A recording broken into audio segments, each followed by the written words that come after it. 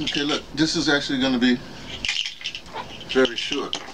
Well, it's not going to be that short, but it's going to be short because I'm putting on my glasses real quick, like that. No, this is not a advertisement for Core Water, Core Hydration brand I found in New York. Actually, I like the bottle a lot, you know, but we are going to get to the core of the matter. Just a second. Pour some water. Hey, need to hydrate, man. Put this down there. Look.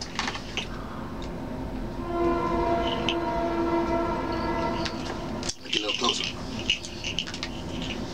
As you may may not know, I, I, I check out Keiser Report all the time. Since 2014, I've been checking Keiser Report. And there was this guy on there talking about the president blah, blah, blah, blah. And I know he said something about, uh, about Tulsi Gabbard and the military wasn't enough. There's something else about Andrew Yang and something about the whatever, whatever. But I just want to focus on the, on the on the military thing. See, the problem with the military budget, I think, has little to do with the military budget exactly.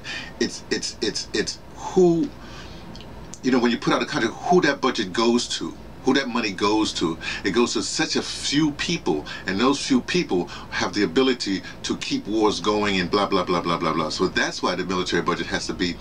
I don't want to say attacked, we are attacked, whatever it is. That's why really Tulsi is the best, you know, in that area. Everybody else sort of stands down. They, they oh, the, the generals, but the, the, the. I'm about to go to the VA. I'm telling you, what VA, the people. No, I'm going to get into it. But, but if you're a veteran you understand what the deal is, you know, in terms of like respect for generals, whatever. You respect for some people, you know, but a lot of them don't.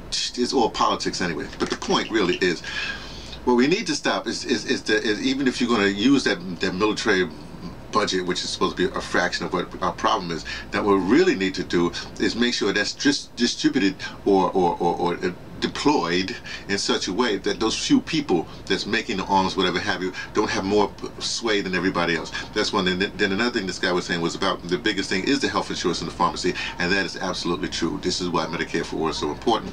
And uh, but da da da da da. So you figure out what you want to do. Anyway, I just need to get that out because I'm back in New York for just a few couple of days, and I gotta go to St. Louis. And that's a little what I have to do, I being me. T from the Pattersons taking the train to Tibet, letting you know what I only suspect from a desk. A reality of the ADOS. That would be the uh, American, North American descendants of chattel slavery.